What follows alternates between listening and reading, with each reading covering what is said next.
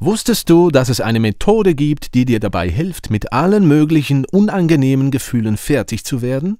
Angst, wie bei Tamara, die vor Prüfungen kaum schlafen kann. Ärger wie bei Stefan, der sich oft wütend und ohnmächtig fühlt, wenn sein Chef ihm zusätzliche Arbeit reindrückt. Oder Liebeskummer wie bei Helena, die vor kurzem von ihrem Freund verlassen wurde. Was dir helfen kann, ist, tada, das expressive Schreiben. Forscher aus aller Welt haben zu dieser Methode eine Vielzahl von Experimenten gemacht mit erstaunlichen Ergebnissen.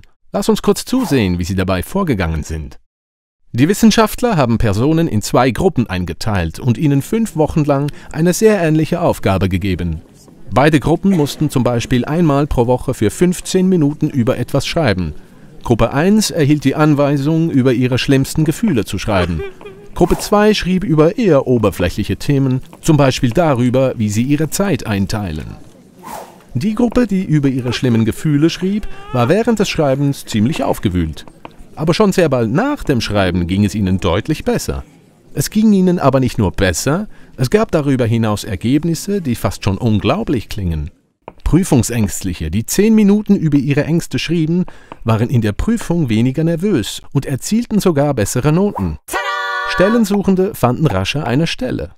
Es lassen sich sogar Effekte aufs Immunsystem feststellen. Menschen, die ein paar Mal über ihre Gefühle geschrieben hatten, waren seltener krank und weniger gestresst. In einer Untersuchung konnte sogar gezeigt werden, dass diese Effekte auch ein Jahr nach der Schreibphase noch anhalten. Wenn wir Erlebnisse, Gedanken und Gefühle aufschreiben, gewinnen wir Distanz dazu. Manchmal können wir auf diese Weise sogar über belastende Erlebnisse aus der Vergangenheit hinwegkommen. Momentane Stresssituationen bedrücken uns weniger, wenn wir sie zu Papier bringen. Während des Schreibens können wir schwierige Situationen innerlich sortieren und Lösungen entwickeln. Probiere es doch einmal aus. Und so gehst du vor. Suche einen ruhigen Ort, an dem du dich wohlfühlst. Nimm einen Stift und ein Blatt Papier zur Hand. Stelle auf dem Handy den Timer auf 10 Minuten, starte den Timer und schreibe sofort drauf los. Halte einfach alles fest, was dich beschäftigt, belastet oder aufwühlt. Achte nicht auf die Rechtschreibung oder die Satzstellung, das darf ruhig chaotisch aussehen. Tamara schreibt zum Beispiel, Die Abschlussprüfung ist ja schon in drei Wochen. Wie soll ich das nur schaffen? Das ist ja mega viel. Boah, meine Eltern killen mich, wenn ich die Prüfung in den Sand setze. Ah, ich kann das alles nicht. Mist, warum habe ich nicht früher angefangen zu lernen?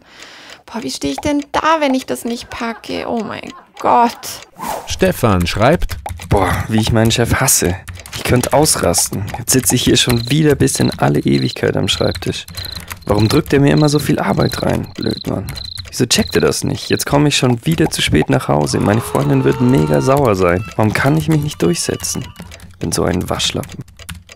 Tamara fühlt sich nach dem Schreiben ruhiger. Sie merkt auch, dass einige ihrer Gedanken ganz schön übertrieben sind. Stefan hat seinen Text danach einfach wieder gelöscht. Er wollte sicherstellen, dass das niemand liest. Auch er fühlt sich ein wenig gefasster und ist überrascht, als er zwei Tage später den Mut findet, mit seinem Chef in Ruhe über das Thema Überstunden zu sprechen. Wie ist das bei dir? Was stresst dich momentan? Tu dir etwas Gutes und schreib es dir von der Seele.